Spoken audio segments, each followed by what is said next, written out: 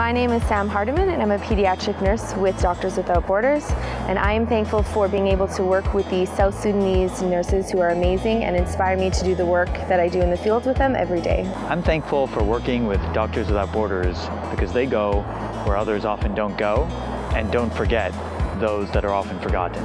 It's more than a job. Working with Doctors Without Borders, it's a passion. أنا ممتنة إني جزء من أطباء بلا حدود.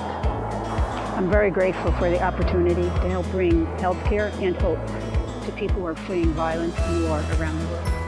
I'm thankful for being a nurse. I'm thankful for being able to work with Doctors Without Borders. For me as a nurse, it's the best thing that I do in my life. It's the most rewarding thing I do in my life. I'm just thankful to be able to do this. I'm thankful for the colleagues that I've had an opportunity to work with around the world. People who are often sacrificing the security of themselves and their families in order to serve their own countrymen and women.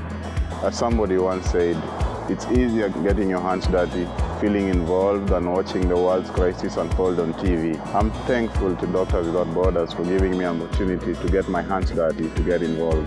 I've talked to a lot of people in my work who disclosed very deep stuff to me, very personal issues. And it's because of this that I got to understand how rewarding working with people who are disadvantaged can be. Thank you so much to Doctors Without Borders.